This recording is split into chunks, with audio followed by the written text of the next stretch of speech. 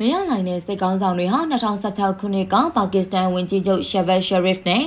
ပါကစ္စတန်ဗိုလ်ချုပ်အာဆင်မိုနီယာတို့နဲ့သဘောတူလက်မှတ်ရေးထိုးပြီး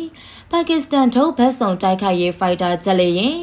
JF-17 တန်တာစက်တစီကိုဒေါ်လာဘီလီယံချီအကုန်ခံပြီးဝယ်ယူဖို့လက်မှတ်ရေးထိုးခဲ့ပါတယ်။ JF-17 တန်တာဖိုက်တာဂျက်လေယာဉ်တွေကိုပါကစ္စတန်ရဲ့ Aeronautical Complex နဲ့တရုတ်ရဲ့ Chengdu Aircraft Industry Corporation တို့ပူးပေါင်းထုတ်လုပ်တာလို့ဆိုပါတယ်။ဒီလေယာဉ်တွေဟာရုရှားကလီယိုမောက် RT93 အင်ဂျင်အနောက်နိုင်ငံလေကြောင်းနည်းပညာနဲ့တရုတ်လေယာဉ်ကိုယ်ရယ်တွေပေါင်းဖက်ပြီးခင်မီလက်နက်တွေတက်ဆင်တိစောက်ထားတဲ့ဂျလေယာဉ်တွေဖြစ်ပါတယ်။နိုင်ငံတကာလေကြောင်းပညာရှင်တွေကတော့ JF17 တန်တာဟာ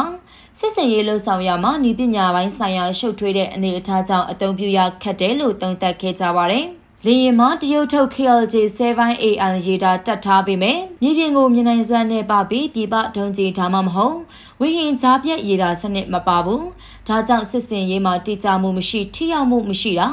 တရုတ်ကိုယ်တွေကစွဲငင်အားနဲ့လေပြင်းထန်ခံနိုင်ရေးပိုင်းအားနေတဲ့ပြဿနာတွေအပြင်တခြားနည်းပညာပိုင်းဆိုင်ရာပြဿနာများစွာရှိနေတယ်လို့နိုင်ငံတကာကသုံးသပ်ခဲ့ကြတာဖြစ်ပါတယ်မြန်မာတိုင်းရင်းသားလက်နက်ကင်တွေຫນွေဦးတော်လန်ရေးကပေါက်ဖွာလာတဲ့ PDF တွေနဲ့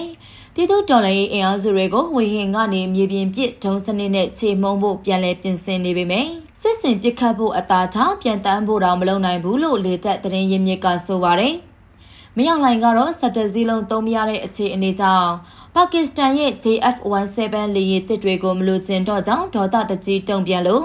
တရုတ်ကွန်မြူနတီပါတီထိပ်တန်းခေါင်းဆောင်တွေဟာမယောင်လိုင်စီလာရောက်ပြီးစိတ်ဆက်ဆွေးနွေးမှုတွေလုပ်ခဲ့ပါတယ်။ ဒီဆွေးနွေးမှုရလဒ်ကိုတော့မသိရသေးပါဘူး DGF 17ပါကစ္စတန်ဖိုက်တာဂျက်လေယာဉ်တွေကို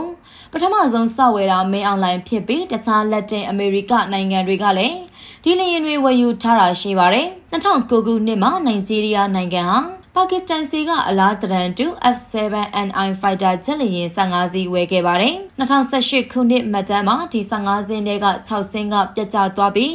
ကြံ9စင်းကအသုံးပြုလို့မရတဲ့အခြေအနေရောက်သွားခဲ့ပြီးဖြစ်ပါတယ်။အဲ့ဒီအထက်က9စင်းကိုတရုတ်စီပို့ပြီးအကြီးစားပြင်ဆင်မွမ်းမံမှုလုပ်ခိုင်းခဲ့တယ်။ဒီလိုပြတ်ကျတဲ့သတင်းကြောင့်တရုတ်ပါကစ္စတန်ပေါင်းထုတ်တဲ့ဖိုက်တာဂျက်တွေကိုဝယ်ယူဖို့ညှင်းဆန်တဲ့နိုင်ငံတွေတဲ့